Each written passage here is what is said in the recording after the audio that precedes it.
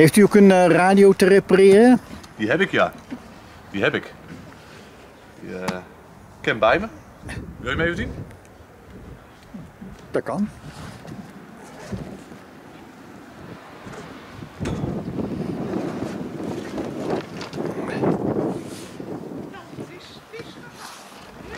Dit is hem. Dat is een uutje. Ik heb geen idee. Dat in vakterm is dat een uutje. Dat is de eerste radio die mijn opa en oma kochten toen ze getrouwd waren. Ja. Dit heet een eh, uutje omdat de, de elektronenbuizen die erin zitten allemaal met het type U beginnen. Oké. En dat heeft te maken met de gloeispanning. Aha. Ja. Ja, ik heb geen idee hoe oud hij precies is, maar Nee. eh, ja, het feit dat hij van opa en oma is geweest. eh, Nou, ik wens u succes. dank u wel.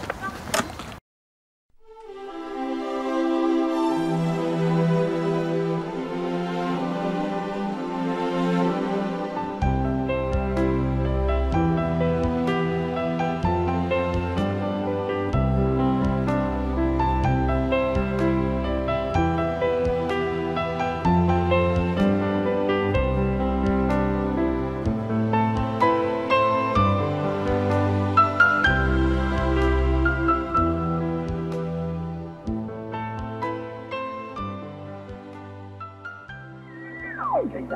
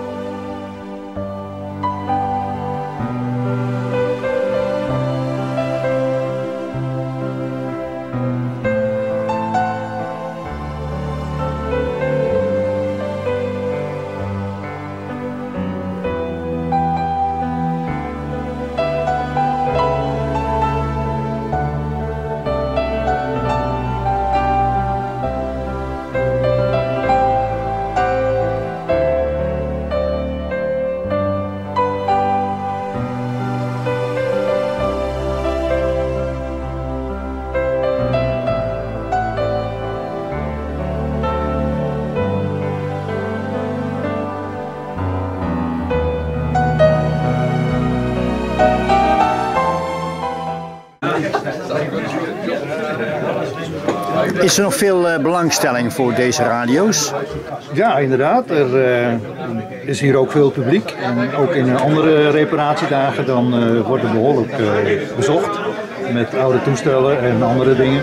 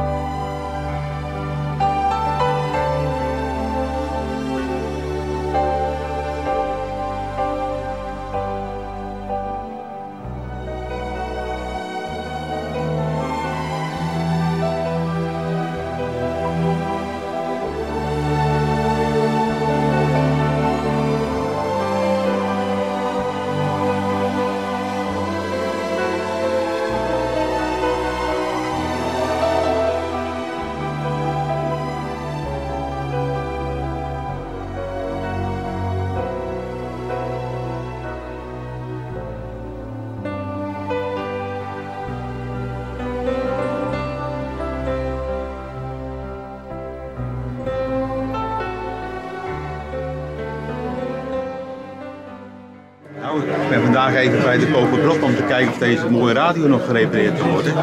Ik had hem jaren op de zolder staan en uh, ja, weggooien is geen optie natuurlijk. En toen las ik in de krant dat er een reparatiedag was bij de Koperen Knop. Nou, dat heb ik in de gaten gehouden hoor. Gelijk mijn agenda gezet en uh, nou, vandaag is het zover. Ja. Het is echt nog een uh, leuke radio. Ze ligt net schoon uit en ik hoop dat deze lampjes weer keurig gaan branden hierin. Het is echt geweldig weer. En dan uh, hebben we weer, na 40 jaar hebben we weer een uh, mooi geluid erin. Het is misschien niet zo'n bekend merk ook. Ik ben er wel voorzichtig mee, maar zo lukt het allemaal prima. Nou, ik hoop dat hij vanavond weer uh, pronkt op de mooie plank. En dan eten we dan lekker